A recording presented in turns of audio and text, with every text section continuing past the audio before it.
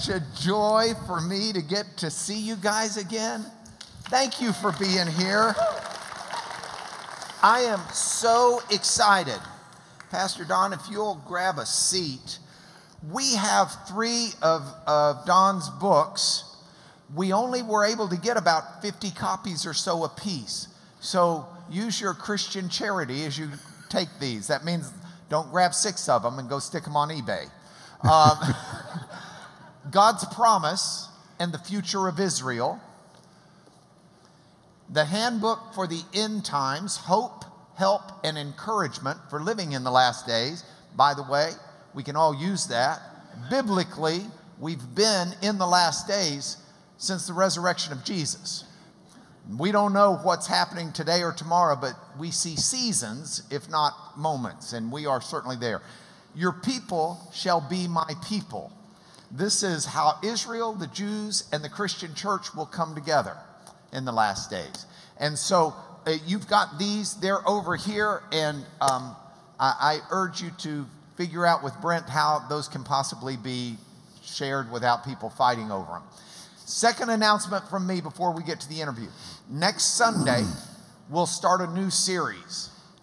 I'm incredibly excited about this series. This is a series that I was asked to teach, um, uh, and, and I'm honored to teach it. The series is going to be, so you can start getting ready and get your friends ready, going to teach on the law. Now, if you're saying, blah, lawyer on the law, no, don't blah. This is be, we, okay? Because what most people don't understand is the law is a reflection of God's character and ethics set in a culture and in a time so as culture and time changes, some of those laws, you know, mm-hmm. Jesus is, is quick to say, hey, that was then, this is now. But some of them don't change because the, the, the and, and we're going to look at that, but we're going to look at the law as a reflection of the character of God and see what can we learn about God by studying his law. Eating kosher. What does that say about the character of God? It's going to be fascinating. I hope you'll tune in or come. Now, today, if I hold up my hand and count the five spiritual mentors that have been used by God to shape who I am, one of those five is sitting with me up here. This is Don Finto. If you like anything and find anything that I teach godly, it would not be so were it not for this gentleman who was my pastor, my preacher, my minister when I was in college. And so I want you to get to know him. I want some of him to rub off on you. He is 90 years old. so he's just getting warmed up. Amen. I have my notes. I want to get right into it. I want you to get to know him to some measure the way uh, uh, I've gotten to, and, and I'm just thrilled. Don, thank you for this weekend from It's- deep it's in my blessing. soul. Thank, Thank you. Thank you. Um, tell everybody a little bit about you, and then I'll start asking questions. But just let them know a little bit. Who is Don Finto? Hmm. Let me. Oh, okay, I, I have to tell you something that's funny. I walked into a mall in Nashville one time, and I noticed this lady was kind of looking at me, and I figured, oh, well, she knew me or something. And finally, she walked over to me and said, "Do you know Don Finto?" and I was so stunned, I didn't know what to say. And she said, "You look just like him." and I finally said, "Well, I do know him, not as well as I'd like to."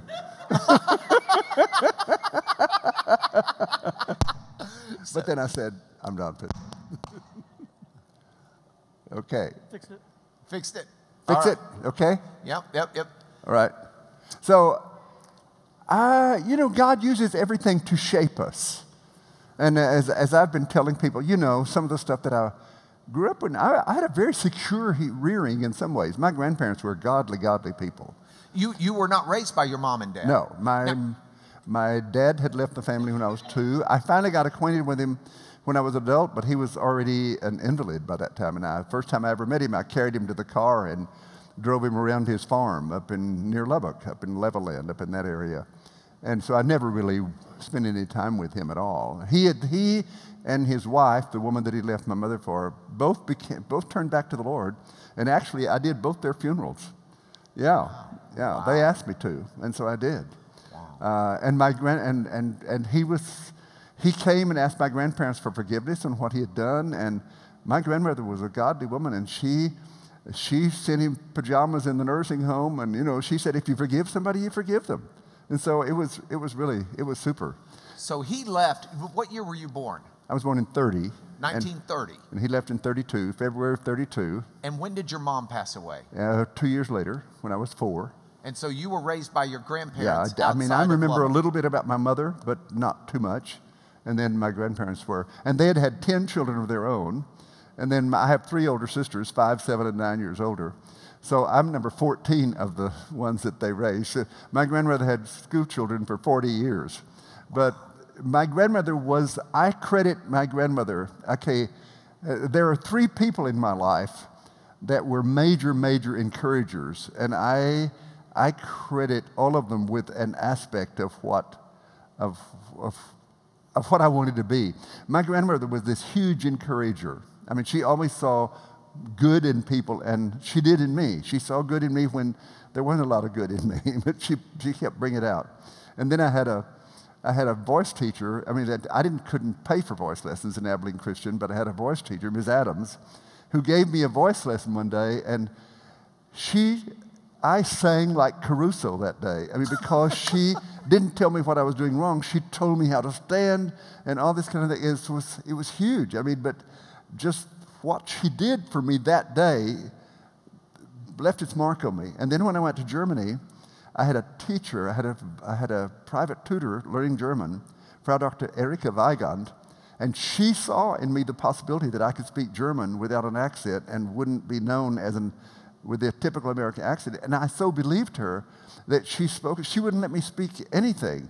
I mean, I, I practiced 15 minutes one day saying the, the name for Munich in German, München.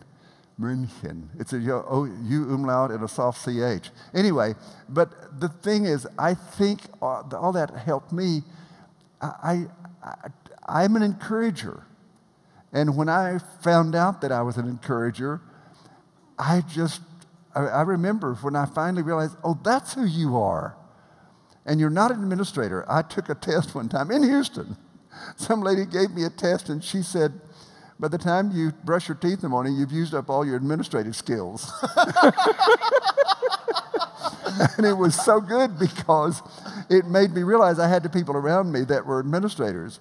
But I was an encourager, and I remember walking into Belmont at Wednesday night when I realized I was an encourager. I'd touch people, I would say something to people.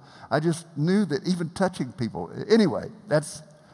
So that's, that's who you are. That's who I am. All right, fantastic. Now, how did you how did you come to, to, to a, a, vibrant walk with the Lord? How did you come to faith? How did you, I mean, you're brought up in a Christian home by your yeah. grandparents. Uh, maybe there wasn't that seminal moment or? I, I think I always, because I'd had some junk in my childhood, I think I was really hungry for God, even in my childhood. I can remember really wanting to follow the Lord. And I think I asked my grandparents at probably age nine or something like that, if I could be baptized. No, you're too young. But they finally, I got under the wire. I didn't, I, I did it at 11, not 12. and so, but I, and I remember the day I was baptized, hanging my clothes on the line and feeling, ah, I'm, I'm, I'm free. I mean, I've, you know, my sins are washed away. But, but by the next morning, I'd thought things that weren't right. And so, oh. and I grew up in that I didn't know the gospel. And I, I thought I'd try to confess all my sins before I went to sleep and then not think anything bad before I went to sleep because I thought if I'd thought something bad while I was in my sleep, I would go to hell if I if didn't died. have time to confess it. and then I would get up in the morning and try to get all my sins confessed by the time I got to the. Anyway, I mean, and it took me a while to, but I was hungry for the gospel. And so the first real message that grabbed me in the churches of Christ where I grew up, and I got famous for it in a way, was the grace message. I mean, I really grabbed it so that I spoke at Harding and I was Pepperdine and all over because it was not a message that was being spoken in the, in the churches of Christ at that time. Thank God it is now in yeah, a lot of the churches. Yeah. Well, and I grew up in a church, uh, Church of Christ background, and the class knows this. Is back, we've got a number of Church of Christ background people in this class. But uh, uh, I, I grew up in, in the Church of Christ, and I met Jesus there, and I met the gospel there but it, it, there was also a very strong legalistic, you're saved because you know it right and you're doing it right uh, group within that church. And so that, that uh, uh, I, I, think in some ways where you have the deepest darkness, you've got some of the purest light. Absolutely. And so, yeah. But, but you see, I, I really believe that I still am doing what I learned to do in the Church of Christ. Read the book and do it. Yeah. Yeah. And we really did say that. But let, oh, let me tell you, but a, a, seminal moment in my life. Uh, I was in we were in Germany when Martha and I first married. We lived there for several years, and and there was a an, what appeared to me to be an arrogant freshman university student at the University of Hamburg that wrote me an open card, and it said, and I'll do it in English, but he said, "Dear Don Finto, do you ever read the Bible just to find out what it says?" or do you just read it to prepare a sermon? I shredded that card as quick as I got it, but not before I had it memorized because I knew he had caught me. Because I realized that I was reading the Bible to try to prove what I had been taught. And, I, and so, one of the things that I challenge people don't be bound by any kind of background, any denominational background, anything you've been taught read the book and pray the Holy Spirit and, and learn what it says. And yeah, and so that has been huge for me. Well, you, you set me on the course of memorizing scripture in bulk. When I was a 15 year old boy, and you and I had lunch one day in Roswell, New Mexico, uh, where you were preaching a gospel meeting. Uh, you, you took time out for this 15 year old snotty nosed kid from Lubbock, and you challenged me to start memorizing scripture in bulk. And I have always, you, you're not a proud man. You always give glory to God. And I've never heard you brag one time in your life.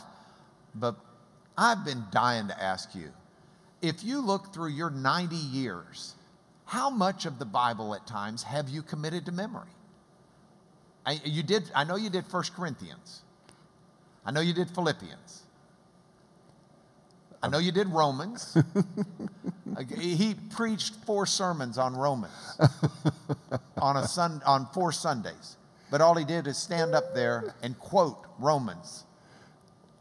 Three chapters. You did one through one through four. One through four. Five through eight. Five through eight. Nine, nine 10, 10 11. 11. And then 12 through 16. Yeah, yeah. Um, uh, I know you've done so many of the Psalms. I know you've done a good bit of Isaiah. What, what, am, I, what am I missing? uh, Did you do the I mean, on the Mount? Oh yeah, at one point, yeah. Uh, one of our one of our guys who's an actor, and I spoke it together. Just walked through the congregation speaking it. He'd take a piece, and I'd take a piece one one day. But uh, Mike Blanton, who's a Texan and one of Amy's what promoters and so forth, uh, he tells the story, and I do kind of remember it. But anyway, he came over to my house one day, and I just started speaking to him, and all of a sudden he thought, "Wait a minute, this." He's, he's, talking, he's speaking scripture. And then all of a sudden he realized I was speaking Colossians to him.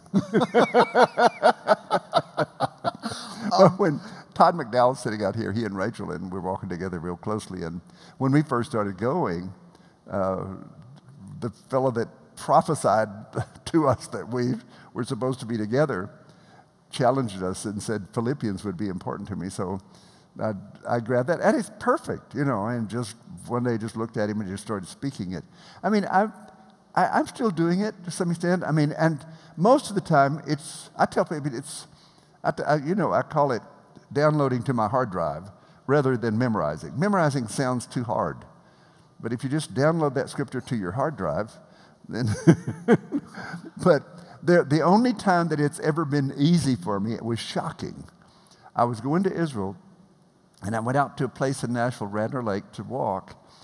And I, I thought, well, I'm going to memorize Isaiah 19. Arise and shine, for your light has come. The glory of the Lord is rising on you, and, and so forth. Because it's talking specifically to Israel, secondarily to us. And so I went walking with the Lord for a little over an hour, and I had it. I thought, I can't believe I've got this. I mean, it didn't take me long. I mean, it, it had to be the Lord. So I thought, well, I'm going back tomorrow and I'm going to do 61. And, and for three days, I had 60, 61, 62. And I, I've never had anything like that before. And so, man, I'm ready to go to Israel now. And so, so I have to speak this. And so what I did is when I got to Israel, I walked the ramparts of the city of Jerusalem speaking those words over Israel. wow, wow. All right. Now, we need to catch up a little bit. Where did you meet Martha? Uh, Martha, how long ago did Martha die? Four years ago. Four years ago. After 60, 64 years. 64 years of marriage. Yeah. How did you meet Martha? uh, I was leading singing for a meeting that Willard Collins was doing at Union Avenue Church of Christ in Memphis. My senior year in college, I was 20, or maybe I was only 19 then, but, but, but anyway, I was invited to go to Memphis to lead singing for a meeting. I stayed with Melvin Wise, who was the minister there, and he said, Well, there's a wedding tonight, Don, you want to go with me? And I said, Sure. And so I walked, we walked into the foyer of the Union Avenue Church building, and Mrs. Graves and Martha were standing there, and Melvin introduced me to Mrs. Graves, who introduced me to her daughter. I went home that I went back to, the, to his house that night and said, Tell me about that blonde that you introduced me to. He said, Well, she's engaged, Don. I said, She didn't have a ring on. You, you know how that goes. You always wanted to know. Yeah. so, anyway, the long and short of it is I mean, it, she had been dating this guy for all for, for four years in college, but she would go out with me when she came to Memphis. And then I went to Memphis and li- I stayed at her home church and ministered with youth and song leading and all that kind of thing for a year before we then toured formed Germany. And anyway, Laura, she, I made some people mad at Lipscomb.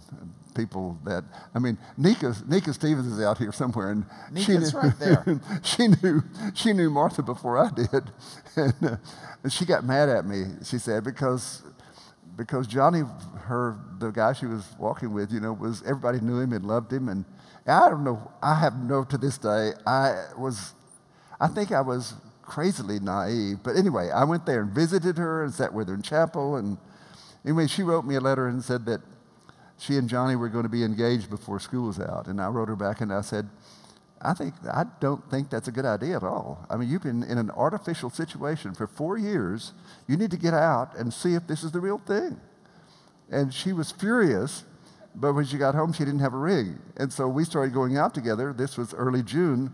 And by August and September, we were engaged and married the next year. Did you get her a ring? Well, let me tell you, let me tell you, let me tell you what was funny. We were traveling all over that summer, and there was a guy walked up to me. We were in Columbus, Mississippi, and a guy walked up to me and handed me a card and said, "I'm a wholesale jeweler. If you ever need wholesale me. jeweler." Yeah, and so I stuck his card in the pocket. Well, I'm a country bumpkin. I don't know protocol. Martha was this charming, dignified, stately woman. Time out. Time out. Time out. I have got most of these people believing that if you're from anywhere around Lubbock, you are not a country bumpkin. Oh. Lubbock is the hub of the plains. So be real careful there. Okay, just be I, real careful. But see, I didn't grow up in Lubbock. Okay, fair enough. You I were about I 20 even, miles outside. I didn't even grow up in Lamesa. Okay. I grew up eight miles out, and uh, our nearest neighbor was country bumpkin. Okay, go ahead. go ahead. so you're a so, country bumpkin. So it's giddy. I'm soon going to have to come back to Lamesa because they're going to support me while I'm in Germany. And I'm getting nervous because I'm going to leave pretty soon. And so the couple of days before I was leaving to come back, we were sitting back, sitting on her front porch, and I said, Do you love Johnny? Yeah. Enough to marry him? No. You love me? Yeah. Enough to marry me? Yeah. Well, good night. I'll see you tomorrow.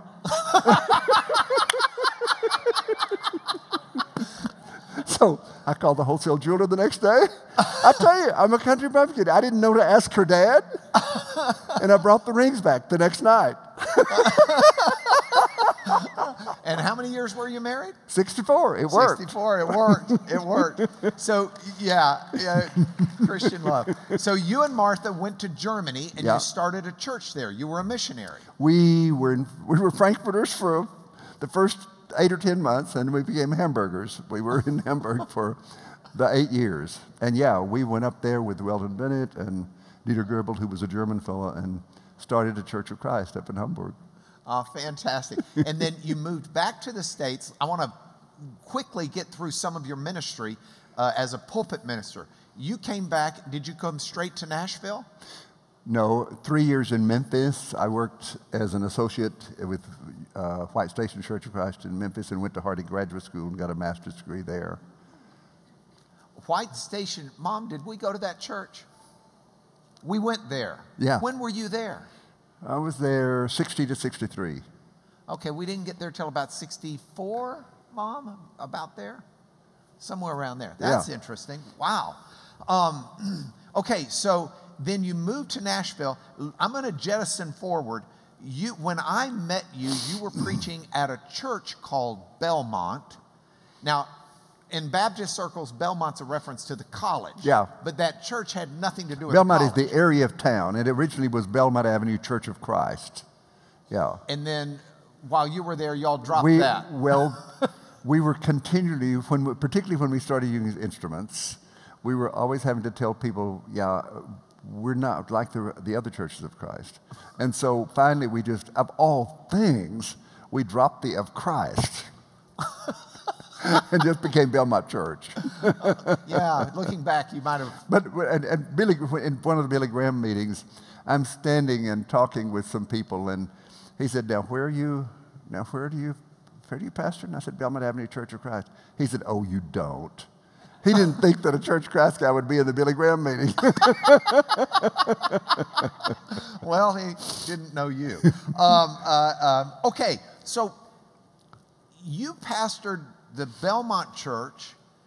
Um, so I can think of Wednesday nights with Michael W. Smith at the piano leading singing. Um, you've got people like Amy Grant at your church. You've got Michael Blanton. You've got Brown Bannister. Brown Bannister, you've got all of these icons of contemporary Christian music. How did you pastor a church like that?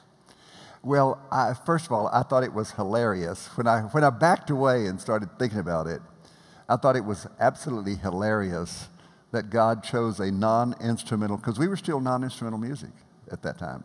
We had a coffee house at Koinonia, and we knew, That was a bookstore across the street. yeah, and, and, and on our, when we got the new people that came to Belmont joining the old people, and we didn't lose anybody. It's crazy. We only about 65 people when we went there, but the Jesus people all started coming. So within, within weeks, we had hundreds, you know.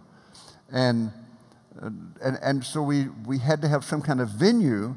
And so across the street, we rented a place, and we knew that all the elders wouldn't be for it. And so some of our elders, Elders are like, think deacons Yeah. in the Baptist church. Yeah, but some of us, some of us joined together to have this place where we could use instruments and worship and everything. And there was more people coming to the Lord over there, but they'd come over to the church building and use the baptistry.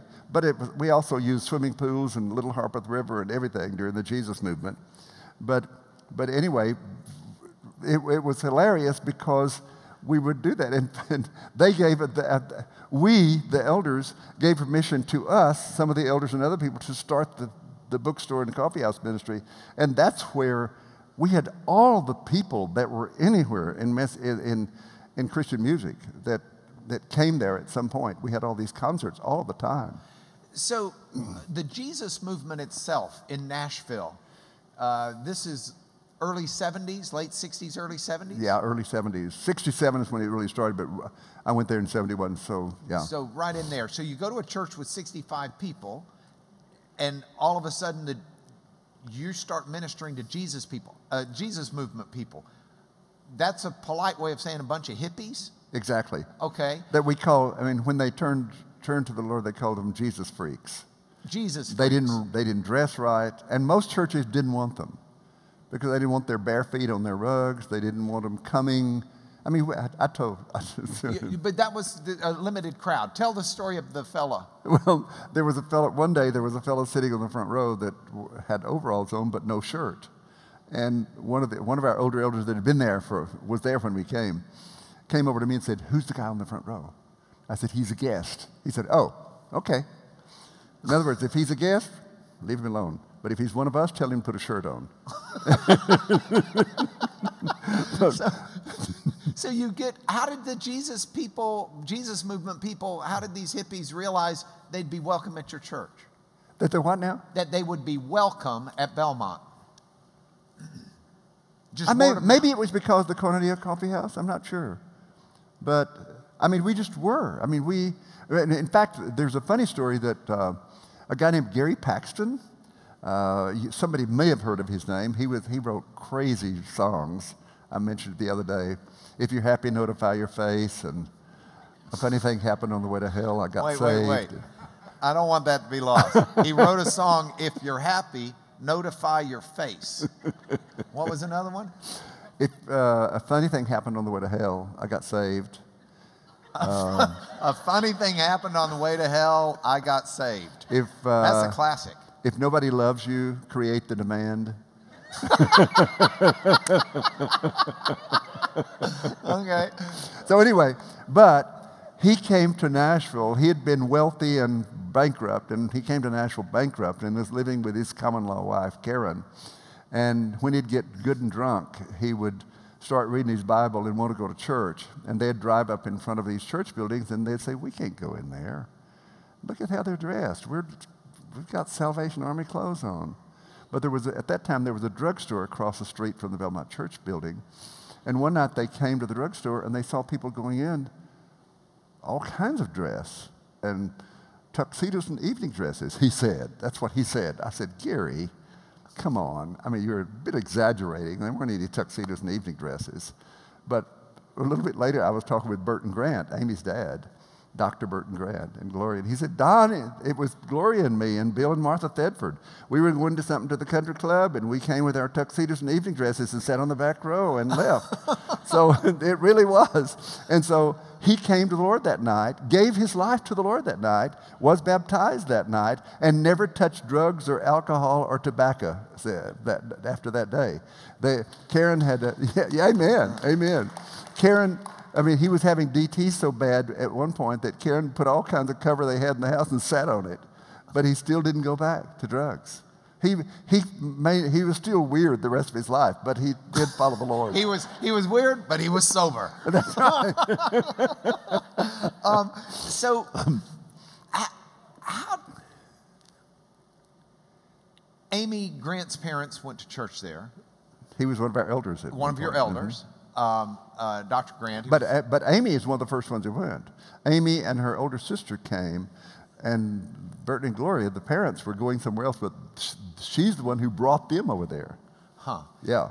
How do you pastor a church where you've got people who are famous, for lack of a better way of saying it? How, how did you, because I'm sure not only they were at the church, but others would come to the church Yeah. because they were at the church. Well, of course, Amy and Michael and Brown and some of those, they were like my kids, and so there's no problem there, except that there were people that would come because they were there, and we had to find a way to help them, at one point, help them get in there and sit in worship and not be surrounded by people, you know, and so we just let them come in a different door and sit at a certain place and things like that. We had to do things like that. But we had other famous people that came, and I, well, I remember, I remember there was one couple that came that both of them had been through divorces and just in, and divorced to marry each other, but famous people. And somebody leaned over to me and said, so and so are back there. And I turned to him and said, I don't want them to be back here. And then I thought, later I thought, God, that's not right. I mean, maybe. And, and so, anyway, these famous people would come, and I didn't want to be a groupie. And so I would just not pay much attention to them. Just, and then the Lord said, Well, hold on. If you don't pastor them, who's going to? And so I, I realized that I had to make myself available to some of these people because they didn't have a pastor. And I mean, some of them were just in there, in and out, and that was okay. But some of them stayed there and, and grew in the Lord. But yeah. Wow. Um, do you keep up? I, I, know you keep up at least with Michael W. Mm-hmm. Smith. Uh, uh, do you keep up with a lot of those people? Are yeah. they still in your life? I mean, I'm not as, I mean, in and out with Brown and Mike and so forth. But yeah, Amy still very, very tight with her, and Michael very tight. I mean, we go, we'll walk together, and and I'll go out with him some on things, and yeah, yeah. Um, what what did you learn through the process of trying to be a pulpit minister in a church that was losing the shackles of its denominationalism, uh, mm-hmm. becoming a church of, of, uh, of outreach to the unloved and the unchurched. Uh, uh how, how did that shape and affect you as a minister? You know, I, I, I know that there were some really, really hard times because I let the elders know when I came to Belmont that I believed in all the gifts of the Holy Spirit.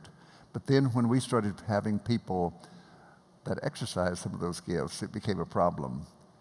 Uh, but it, it, wasn't, it wasn't always easy. And I'll, I'll tell you one thing that happened one time. Um, we had we had a, we had a divided eldership that, was, that were our leaders. We had two people on one side that I called hyper charismatics. That, I call somebody a hyper charismatic that if I hear from God, you just do what I tell you because I heard from God. Don't argue with me. Don't, you, don't, you don't get a chance to judge this. I heard from God. We had a couple of elders on that side that were trying to control the whole church. And then we had a couple on the other side that had been studying the Holy Spirit for years and still didn't know whether he's talked or not. And, uh, and so here, I'm so we were closing out a conference and had an elders meeting that night. And I went home exhausted from the conference, but had to have an elders meeting that night at 7:30. And I went to sleep, and I had I don't dreams don't I don't have a lot of dreams that, but I've had some some that were very important. And I did that day. I had, had a dream, and I was writing a letter to the elders, and I and I was saying, I refuse to walk any longer with a divided eldership. Well, imagine this. And so I'm asking all of you to resign. So I went to the elders meeting that night and I read what I had said. I said, I'm not going to walk with a divided eldership anymore. And we had just moved into our new building. And I said, You can have the building, but I'm not a hireling. I'm a shepherd. I'm not leaving the sheep. Maybe we'll go back. We'd been meeting at West End Junior High for five years. I said, Maybe I'll go back over there. But anyway, i am not going to walk with you anymore, divided like this. Well, finally, the, and so that's all I said. And then uh, one time they said, Well, what'll you do? Will you appoint an interim eldership? And I, I, hadn't even thought about that. And I said, Yeah, I, I guess so. Well, they talked for five hours. And at 12:30 in the morning, by a vote of seven to two, seven to five, they agreed to resign. And so all of them resigned. And from that time on, we had a united eldership that was walking forward in strength. Wow. Yeah. Wow. But I told the people at the time, I said, this is either the most auda- this is the most audacious thing that I've ever done and the most ungodly, or this is the Lord, one or the other, and you're going to have to choose. And so there are hard times in leadership.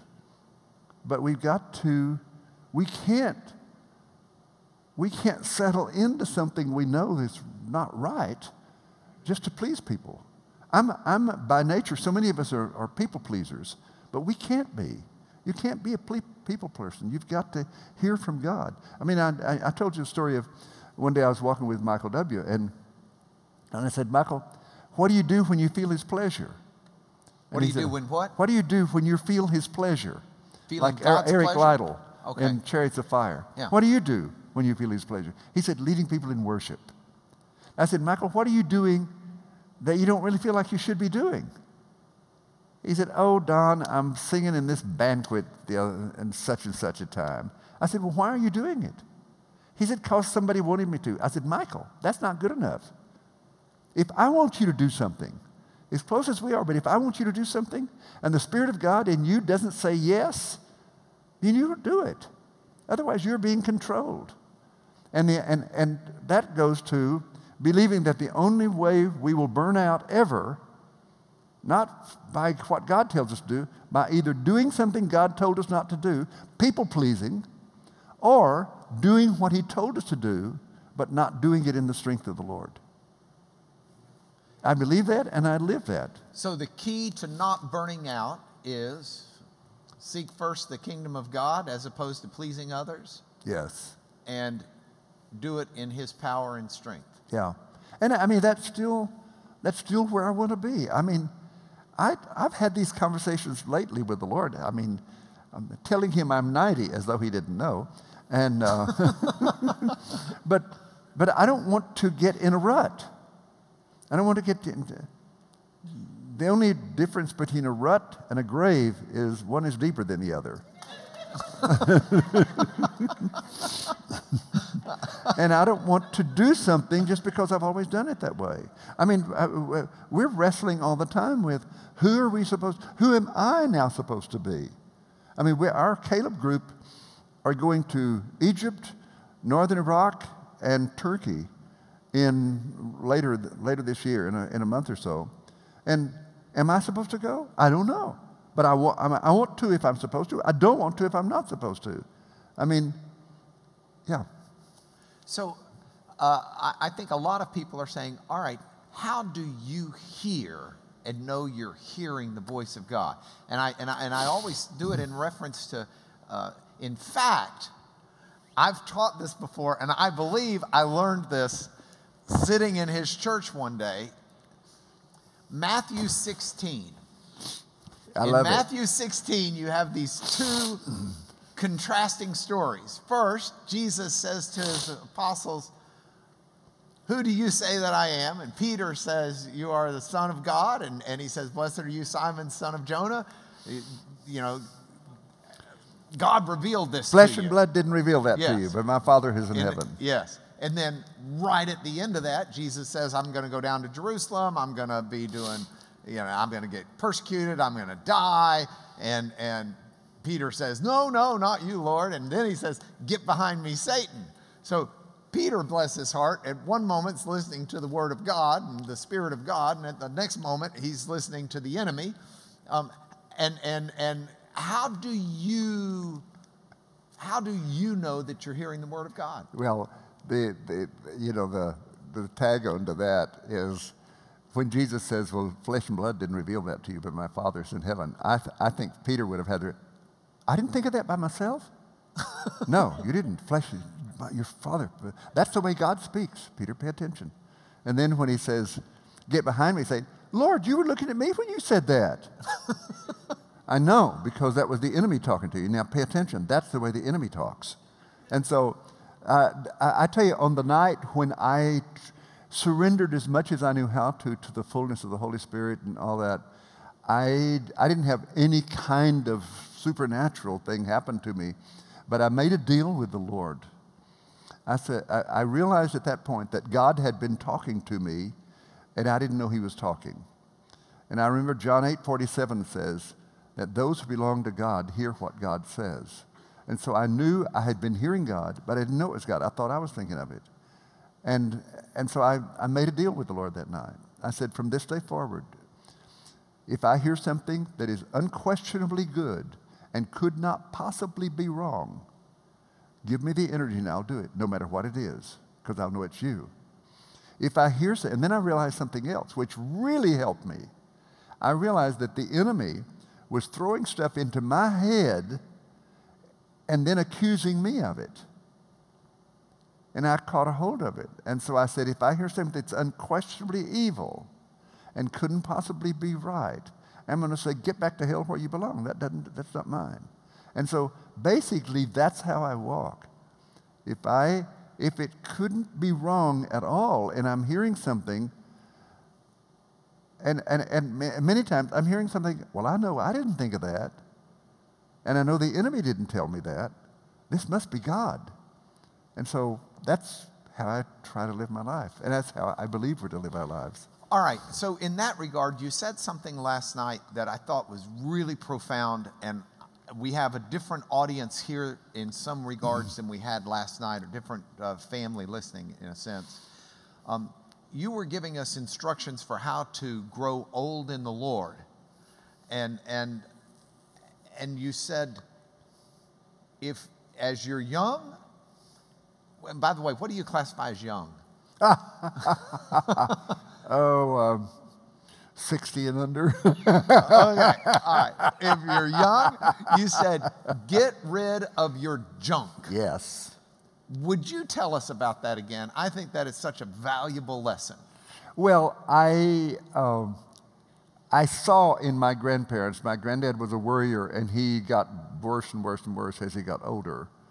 My grandmother was a woman who was so surrendered to the Lord that she got kinder and gentler as she got older. And I saw that and learned that. And, and I realized that if we don't get addictions, for example, I don't care what it is, if, if we don't get addiction surrender in our young years, they get worse as we get older. And so the only way for us to grow old with joy and with purpose is to get all of our junk surrendered. And, and you were asking me later, you know, I mean, somebody asked, I think, in a, in a question last night, how do you do that? Well, I can, I can tell you that one of the things that was superior to me was when I realized that my destiny is to become like Jesus. And I really, I'm, I'm telling you what, I put my weight down on promises. I mean, that I, when, when there's a promise of God that I read, I am not budging of that promise. I've, in the past, when I was preaching, I don't do it anymore because it's, but I, have actually put my Bible down. I don't put my Bibles on the floor. I mean, I'll put something under it. I mean, I know it's just a book, but, but I'd put my Bible on the floor and stand on it as a way of saying, I'm standing on I don't do that anymore because it's too, and you certainly don't do it in Jewish ministry. no. Imagine no, standing no, on the Torah. No. No. But, but anyway, when, and so I believe that I'm to be like Jesus. And I believe, I mean, that's one of the reasons why I'm still excited about life because I've got so much more to become. I'm not like him yet. I'm, I'm, I'm closer than I have been, but I'm not like him yet. And then passages like, uh, if we confess, he purifies. That's huge. I mean, if, you, if, if you've got any kind of besetting sin, don't ever rationalize it, don't ever compromise, don't give excuses. I mean, if, well, that my granddad was this way, my dad, well, so what? I mean, you're not supposed to, I mean, let all that junk stop with you. And, and then another thing that's huge, and see, I had, to, I had to really learn this one, is Matthew, I mean, the parable of the two debtors. When the debtor that would not forgive was jailed and turned over to the tormentors, and the Lord says that's how He'll treat us if we don't forgive. So, man, I'm, I'm a really good forgiver because I don't want to be turned over to the tormentors. And so I had to learn to forgive my dad, the woman he ran off with, the man who abused me. I mean, those were the biggies, the three biggies. But then it's everyday thing. I, I taught a, a, class at the downtown Presbyterian Church for 20 years at lunch, and and one day I was going down there. I was just really feeling good that day, and there was a there was a woman trying to come in traffic, and so I I'm just feeling so magnanimous that I just did like this to her. Come on out. I mean, i will let you in but she wasn't turning right. She was turning left, and it was a four lane street. And here she pulls out in front of me and stops. And I got furious. I just thought, I would have never let you in if I'd known you were going to do that. and, and all of a sudden, I realized what's happening, and I broke out in laughter in my car by myself. And I said, Honey, you stay there as long as you want to. I'll forgive you. so, so it's little things and big things. um, um, you, uh, um, you, you, you a lot of people would listen to you and think, well, you've had this fantastic life. It's easy for you to say, you don't know what I've been through. You made a reference to the man who abused you. Um, that I know enough of that to know that you, you've had to learn very hard forgiveness. Yeah. And, and I had a lot to overcome.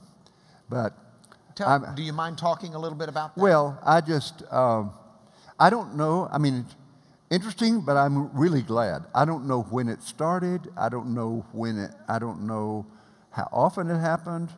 I do know when it ended. And I don't know what before that, but I was 16 when I went to college. And he came to college and rented a place to stay and invited me over. And I went over to confront him. And I've been so grateful for that. And, and uh, I mean, I don't say this with joy, but he later worked at Dallas Fort Worth Airport. And somewhere he picked up two young guys and took them home with him. And they robbed him and killed him. wow. So, but, but yeah, I mean, that, that to me was the epitome, epitome of what I had to overcome because I had so much trouble getting my mind cleared and not those images coming back into my mind. And that's when I started, that's why believing I was to be like Jesus and, and confessing when something came, that's why that became so important to me. So God can, God is bigger than sexual abuse. God Yeah. is bigger than, And see, well, I was in Florida at a, at a youth retreat, uh, and this is the first time that I ever told it, uh, I, publicly at least. There were 400 and something youth there, and there was a young man who was giving his testimony at night that had been a, reared in a godly home, but he had rebelled, but he'd come back, and he was a pastor, and he was good. To, I'm sitting over on the side, just basking in it because that's my God. That's the way He works. But then when He got through, I realized the Holy Spirit was moving on me, and if I gave in to what was happening in me, I didn't know what I was going to act like. And so I got up and left and went to a dark spot in the back of the campsite, and I, I just let go. And I started wailing. I started sobbing. I, I shook. I, I thought, what in the world is happening to me? Some, I don't know what this is. And, but I, didn't, I couldn't even think. It was so engulfing. how But- old were you? I was close to 50. Yeah. Probably in my 40s for sure. And, and I finally, when I got to where I could talk, I said, God, what is this? Is this self pity because I didn't have the kind of rearing he had? And the Lord said, No, it's gratitude because I've made you whole. I want you to get up and tell your story in the morning because there are more kids that can relate to you than relate to him. So I, so I, that's the first time I'd ever told about the sexual abuse. But sure enough, the kids start coming out the, I mean, they just coming up to start talking to me. This one's been abused. That girl's been raped. This 17 year old kid won't ever know who his father is because his mother was a prostitute. I wanted to take him in my, I wanted to put him in my back pocket and take him home, you know. But, and so from then on, I, I, I mean, obviously, I'm not just blaring it all the time, but if I feel like it's going to be helpful, I tell it. Because in any group of people like this, there, I guarantee you there are people out here that have been sexually abused. There are probably people that have been raped. There have been all kinds of things. But I'm telling you, we can get through it and we can be like Jesus. We don't have to, we can forgive. We don't have to live in that all of our lives. Wow, that's powerful. Well, um, we're about out of time. We've got uh, worship that happens, and, and so I, I want to always try to finish, especially for those of you who are in choir, rest assured I will always try to finish by uh, uh, 10.30. I'll be very careful with that. But um, I want to know what you have planned. What's Don Finto doing in his 90th year? By the mercies of God. And what you said you're good for another 35 years? How many?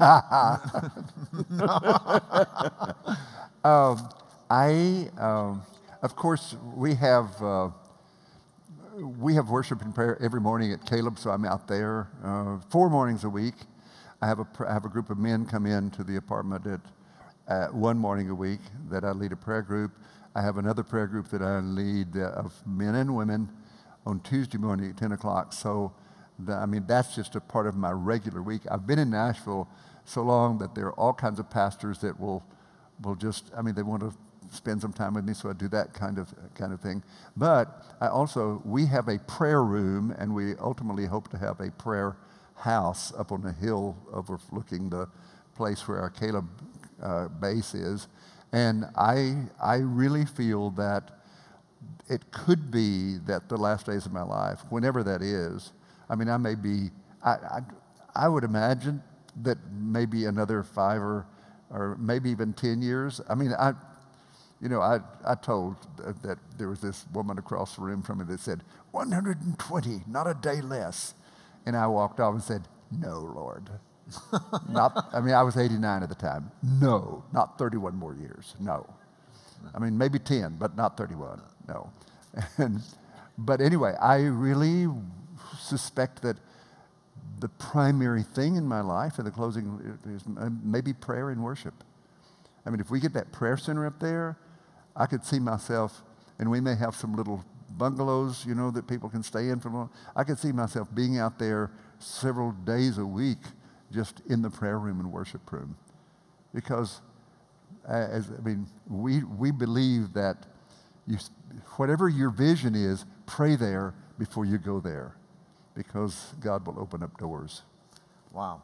Would you join me in thanking Pastor Don for giving us this time? he is very selective on where he goes and what he does at this point in his life. He counts his days and he is careful about them. And I'm going to ask him to bless us uh, um, uh, as we finish. And as you bless us with scripture, uh, if you don't mind, would you also be sure and uh, close us with the Aaronic blessing? And would you uh, stand up if you are able to? Or choose? We got all people, all kinds of people. I hadn't even looked at you over here. You know, praise be to God. Yeah. Well, the uh, I mean, the, these apostolic prayers that are in Scripture are the ones that I really grab hold of, and and the ones that I was sharing last night. And I really do, I, I do pray. I mean, we always have, we have to have hope for the future. We've got to have hope. We can't live without hope. So may the God of hope fill us with joy and peace as we trusted Him, so that we can overflow with hope by the power of the Holy Spirit. That's so powerful. And the one that I was asked to do at a wedding years ago, and it just so grabbed me that I've kept it in my repertoire is the closing part of Ephesians 3 that may God, out of his glorious riches, strengthen us with power. We're supposed to have power. Come on, we're supposed to. May he strengthen us with power in our spirit so that Jesus can dwell in our hearts through faith. And we, being rooted and established in love, may have power, together with all the saints, to grasp how wide and long and high and deep is the love of God, and to know that love that surpasses knowledge, so that we can be filled to all the measure of the fullness of Jesus. And to him who's able to do that, to him who's able to do that far more abundantly than all that we can ask or imagine, according to his power at work in us to believe. To him be glory in the community of believers and in Jesus the Messiah through all generations, forever and ever. And then, yes, I will say it again. This benediction in Numbers 6 is the only blessing that I know of that was actually worded by the Lord Himself. He gave it to Moses to give to Aaron to bless all future generations of Israel but we're grafted into Israel, so it's ours as well. And he said, When you pray this, when you bless them with this, I will put my name upon them. So get ready for God's name to be put on you as I, as I speak this. May the Lord bless you. Sometimes I'll have people just put their own hands on their head just so you can sense that it's God blessing you.